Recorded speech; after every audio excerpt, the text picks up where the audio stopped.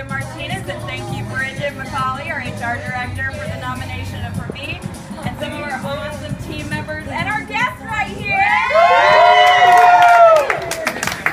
So, and then we also want to challenge a few other people after this. So we want to challenge Jeffrey Ovamenchi of the Marriott Sugar Land team, Bill Clancy, Marty McHenry, and the, and the Marriott Research Triangle Park team, my kids, and also Brandon Martinez and the Marriott Rivers well. So, and for ALS